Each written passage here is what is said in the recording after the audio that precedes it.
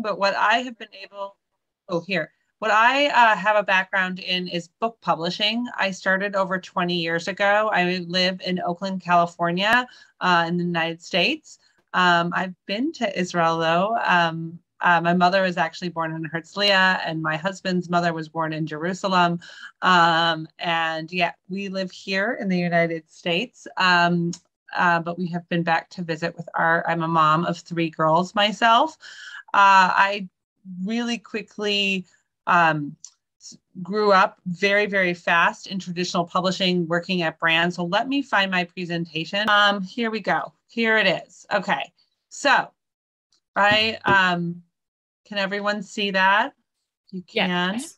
Okay, great. I think there's a way that I've done this before where I can do um, uh, view. It, I'll just let it go. Um, view as um, as a, but this is fine.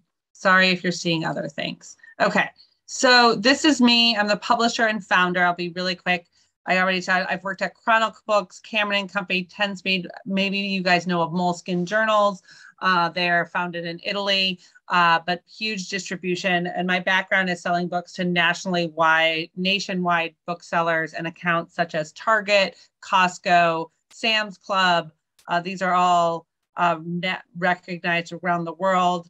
Um, and I've sold into them probably every single store in the United States that has a shopping cart. Even when Bar- Babies R Us was around, I have sold to it. Bye bye baby. Um, and so my background is sort of not just is looking at a book as a product, um, marketing, sales, and distribution. Um, and what today I'm going to give you um, really a brief overview after talking to Nathalie is that everyone is sort of like confused about the publishing space because it has really changed with um, Amazon and self-publishing. So um, I've been seeing there was an article on my company and myself in Business Insider, but my books have been on the Today Show. Have been I did a cookbook called 52 Shabbats, which uh, was seen in the New York Times, uh, LA Times, the Washington Post as well. We have already won awards, and just mind you, I'm only in going into year four of a business, and already have been um, best-selling and award-winning titles. Um, we are already at 50 titles, and how do we do this? Uh, my company is uh, is insiders, our publishing insiders. So we really understand how to make a book, and not because anyone can honestly these days write something turn it into a PDF, upload it on Amazon, and sell it.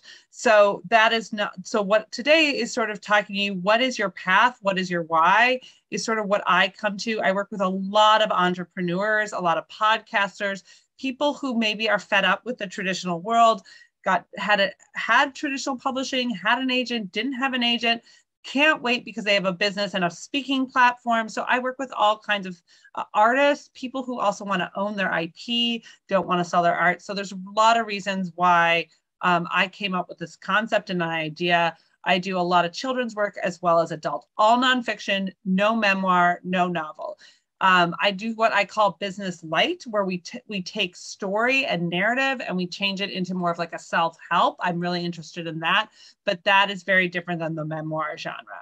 So publishing a book, the different ways to get it done. So I think my thing is there's there's hybrid publishing, which there's self-publishing, there's traditional publishing, and then what I've sort of kind of coined called partnership publishing, and I'll go into that.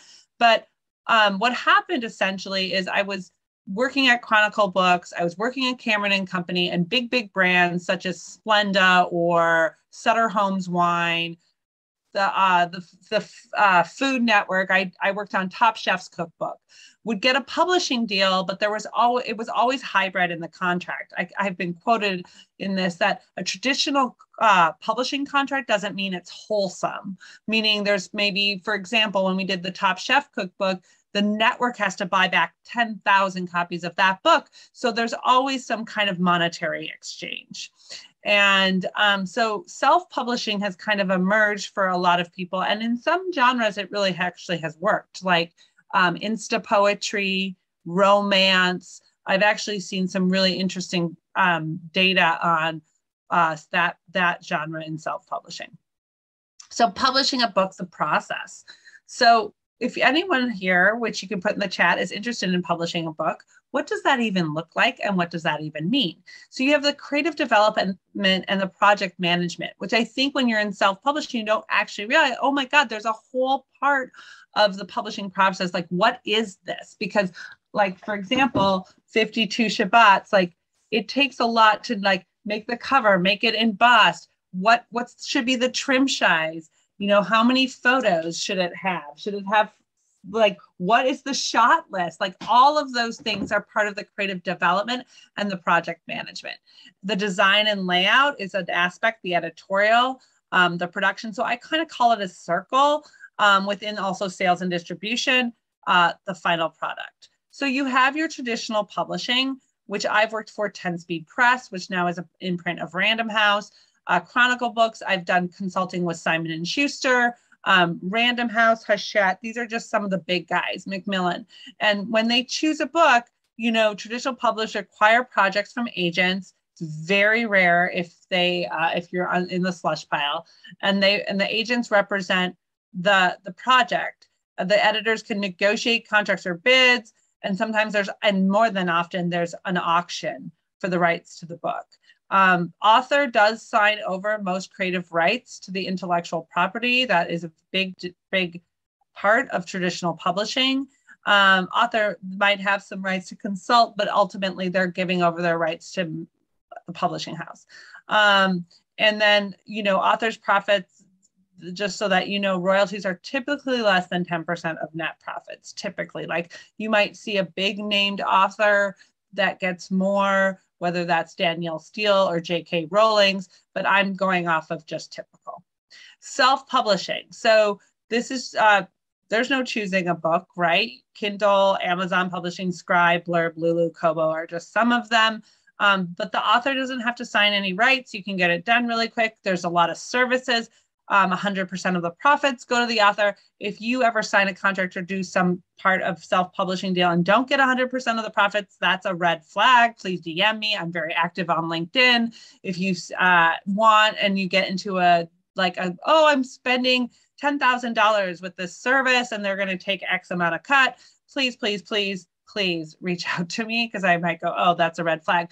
There was a huge study, and I'm part of a, a committee now, a, a watch committee in publishing on ethical hybrid or partnership, where because they're, they're in, at least in the United States, it's gotten really gray on what to spend. And out of the UK, there was a study that they're basically like all hybrid is bad, and that's not really the case. It's at all, especially in the United States. It's more about uh, what I tell authors do your research and, and ask the right questions. So that's why we're going to have five minutes, I guess, here. But what is hybrid publishing? So these are some really good companies that do it She Writes Press, Girl Friday Productions, Greenleaf, Scribe, Amp- Amplify. And um, hybrid publishers are looking both for content and, and an author is willing to pay into the publishing program. Um, but the author retains all rights to their intellectual property. So a lot of people, like if you have a big speaking platform, you're on TEDx speaker, like you need books.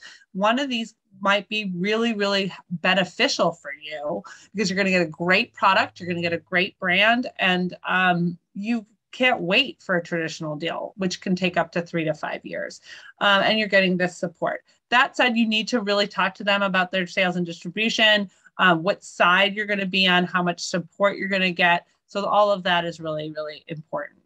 So I decided to sort of think about partnership publishing in a different way. Um, I come from custom publishing from Chronicle or Cameron Books, again, where wineries are paying us, are coming to the table with photography, are paying us to do the books, and then we're offering it into the trade. So I decided to just offer that to both brands as the regular person like you are going to pay for us to create a book right? Just but it's really literally just offset costs. So like example here i did this book called malka's notebook that was seen in hadassah magazine. So it, it was came to me as a memoir and a prose and i was like no one is going to buy that. And so you come to us to go what could this be? And the artist is in Israel and did not want his, the art was acquired by this woman here in the United States. And she didn't want to sell this to a publisher. She wants to own the art. She also has a film which is unreal, absolutely gorgeous. Just won a, um, actually in Israel a short film award uh, called A Day Before Their Creation. So why would she sell the art? But what we did is we stripped the entire memoir with our developmental editor and we matched her words to every single art piece and it's it's abs- it's absolutely gorgeous. So part of what we do is we work with museums, with artists, and people who don't want to get their IP acquired. We also have an ability to create things that are very different that an Amazon or self-publishing couldn't do. For example, this is a lift a flap parenting book. So, or uh, uh, postpartum, she the uh, she Raquel Kelly was a producer for E. She had this great idea, tons of connections in the United States, and her agent. They were not. No one wanted to kind of take on the project, and she believed in it so much that she approached us, and we said we could do it. So it's a lift a flap book for moms. Like you get postpartum depression. The idea is where'd I go? Um, this just came out. It's unreal and really beautiful. We hired the illustrator um, and we do all that work. We can also take, she's a parenting coach. We can take her simple, simple concepts and ideas and just make really gorgeous. Actually, Sue Groner is Jewish. She's really awesome. She lives in New York. And, um, you know, make really a beautiful book of all of her simple tips and you know, add a few little illustrations. It's lay flat, it's got a ribbon, and she can use this also in with her patients, but it also gives her credibility in the trade. So that's sort of a lot of what I do. Um, how publishing works, I kind of did that. Like you see how my cute little slide, if you go over, you know, manuscript development, copy editing and proofing, design and layout, it's cover design, interior design, typesetting, art direction, illustration, and photography. I'm sure you did not realize you know this much about a book. Production is package construction, printer relationships, competitive pricing. So that's really important. Um, we just pass off our costs. So, for example, you might go, Well, I don't really want to pay that creative fee, or I didn't want to do that. I would get that all the time. And then they go to a printer and they're like, oh my God, it's going to cost me $9 a book to print this thing. I'm going to talk only in US dollars. Um, and we're able to get the book for $4 landed with a tariff because we have big terms. We print like, you know, we do a lot of our own publishing. Um, we come up with our own concepts and our own ideas. A lot of my children's books um, are us, and that's also a secret in publishing. Um, some of the stuff we like National Geographic, Scholastic, Chronicle, like we're editors and writers and thinkers ourselves. So p- part of our lists are our own things. So we'll we have those relationships with with printers. Um, wholesale distribution. So this is really a difference between my brand and, or my and my publishing house. I was I was an insider and I was never going to publish a book without distribution. So oftentimes a self-published author, you can't get distribution because you're not going to cultivate like a my idea was like let's bring a lot of this good content together as a collective so that we could massively come up with a list where we would be taken seriously could grow to half a million very quickly to a million dollar business.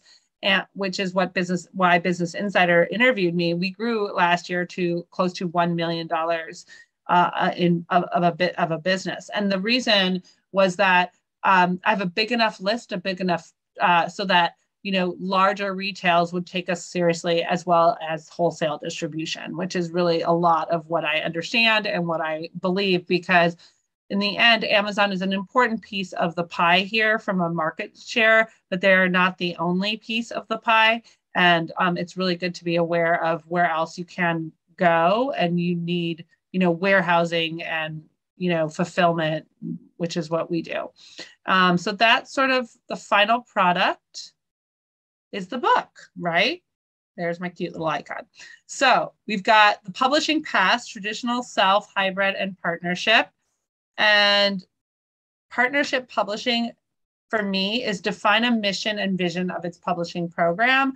So that's what I, I'm like almost coming out with my own publishing standards. You have to vet submissions you have to publish. So like I just got a someone say, but I bought my own ISBN. um, we like their manuscript. It hasn't even been illustrated. It's a children's book. Can I use it? I'm like, no, you cannot. So like the idea is that published to industry standards. What does that mean? I publish I my books will stand hold of a Hachette, a Workman, a Chronicle, uh, Abrams, like just as high is my standard in my brand as it would a large house or any house. Um, and I ensure that because um, and pursue and manage a range of publishing rights. So, like, let's say there are people that we will um, do sub rights for them, sell in different languages. I'm very interested in talking. I just talked to an Israeli publisher, for example, talking about other product they're publishing, how to bring it over to the United States. Um, provide marketing and publicity services and include outreach. We do all of that. We, as you can see, uh, and national reviews demonstrate respectable sales, which I definitely we have we our books have already been in major retailers across the country uh, from a from our own brand from Costco to Target to um, Central Markets, which is a grocery store down in Texas, um, and we pay authors higher than standard royalties. Our um, and between twenty and fifty percent is what our my royalties are, depending on the structure and how much I invest and how much the author invests in the work. Um, but typically, most contracts are up to fifty percent uh, net royalties. And now I'm done. Did I go ten minutes?